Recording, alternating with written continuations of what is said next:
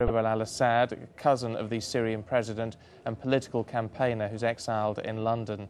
First, so let's go to Birmingham and talk to Malik al-Abdeh, a political activist and spokesman for the Syrian opposition. Um, is, is, there a sense, Malik, that, that what is happening in Syria is being overshadowed somewhat by, by the, the situation in Libya at the moment? I mean, can you bring us up to date with what the situation is? Well, yeah, uh, Syrians are rather frustrated at the moment with uh, the Libyan uh, developments overshadowing what's happening in Syria. Uh, what's happening in Syria is, uh, is very, very important. Um, potentially, it could be the most uh, significant democratic revolution in the whole region, possibly overshadowing Libya, also over overshadowing what's happening in Yemen. That's because the Syrian regime is possibly, possibly the most repressive regime in the region, and also because of the geostrategic importance of Syria. Of course, if the Syrian regime uh, does fall, uh, this could have huge uh, repercussions on, on Iran, on, on Lebanon, and also on the Israel-Palestinian uh, conflict. So uh, really, I think uh, more attention has to be paid to Syria. Syrian activists on the ground, especially those in Daraa at the moment, who are, which is being encircled by tanks. This is the latest reports coming out from Daraa. they're crying out for more media attention. Uh, and we, we have had reports of a, a, number of fatalities, of tear gas being fired at uh, mourners at the funerals of some of those who have been killed. I mean, is there a sense that, I mean, from, from your standpoint, that the, the action that the authorities there are taking is uh, completely out of step with, with the situation or the threat, if you can put it that way, being posed by the, the protesters? Oh, absolutely. Uh, these are, of course, unarmed protesters. Uh, they came out uh, on Tuesday to begin with. That's when uh, uh, the 15th of March revolution uh, began. all, they were all unarmed protesters. the regime fired on them with live ammunition. six people died yesterday.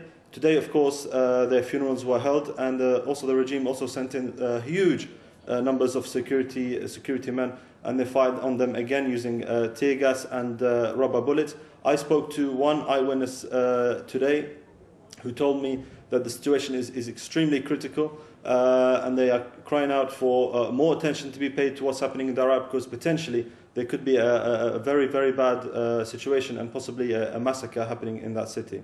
Well, let's talk now to Ribal al-Assad, a cousin of the, of the Syrian president. I mean, obviously the situation on the ground there is extremely serious. There does seem to be a tremendous amount of violence taking place against these protesters. Yes, uh, as I said last time um, when I came, when I spoke uh, on Sky News, I said we are for peaceful transitional change, and the regime in Syria should allow demonstration, peaceful demonstration. They should allow uh, the uh, people's right of association and of expression and uh, those people should not, should not be harmed and they should not be in uh, they should not be put in, uh, in any way in, uh, you know uh, at harm's way it's, that would be disastrous well, why why do you think then that this is happening as it is that this is unfolding as it is and this this type of action and violence is taking place against these protesters We've been calling for a while. We saw this coming, and we've been calling on the Syrian regime to, you know, to change, to start changing, you know, and they have, they have not been listening. And uh, I've said repeatedly, I've, I've, called on the Syrian regime to change, to call uh, for all uh, opposition group, on, uh, to call for a government of national unity, uh, to, go, to call for a national dialogue. And uh, look what's been happening all over the Middle East.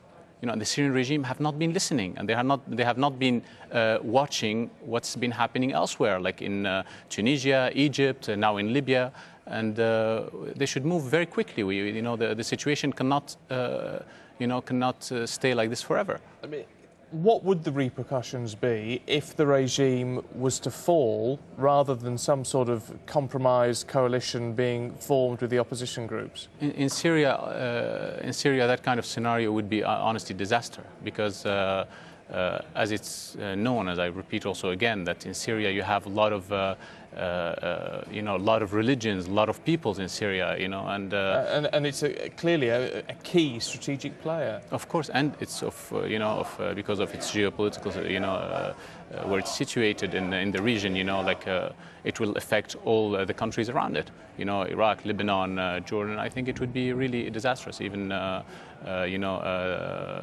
the, Palest- the Palestinian, you know, um, peace process, the, everything else. Malik, I mean, you are a spokesman for the for the Syrian opposition, even though you are uh, here in the UK at the moment. I mean, is there still um, a mood, a sense, a willingness, should the regime uh, decide to to want to to compromise, to want to look at some sort of transition and change? Oh, apologies, Malik Abdeh has has, has gone in all of this. He's uh, he's left us now. Um, I mean, I'll, I'll, put that to you, Ribal. Do, do, you think that there is any sense that um, the opposition groups and what you've seen and what, the action that has been taking place, do you think there is any sense now that, that they would be willing to compromise if the regime decided to give ground? Yes, everybody, nobody, I mean, all the opposition groups have been calling on the same things. They all want the government to change. Nobody is calling on the, uh, if you have heard what, uh, what was uh, what were the demonstration were, were chanting yesterday or what they were saying yesterday. You know, they were calling for peaceful demonstrations. You know, they wanted the regime to change. You know, they want the regime uh, uh, to call on a national unity, as I've said. Uh, they want an end to corruption. They want an, uh, an end to to uh, uh, to you know arresting people and putting them in jail for just express, expressing themselves. this is not acceptable today. You know, we are in the 21st century. People could see, I mean, with all the technologies that you know, the internet, mobile phones, and and others, you know, social media. people are we are all connected, and we can see what's happening abroad. And people would never accept to live today how they used to live uh, 10 or 20 or 30 years ago. Ribal Al Assad, appreciate your time and your views. Thank you. You're welcome. Let's take you through the top stories here on Sky News this evening. The French Defence Ministry